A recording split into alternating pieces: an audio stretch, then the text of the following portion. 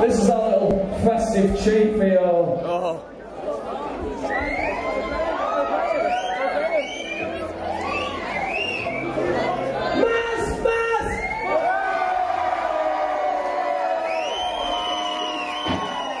The second most famous member of the Normandy.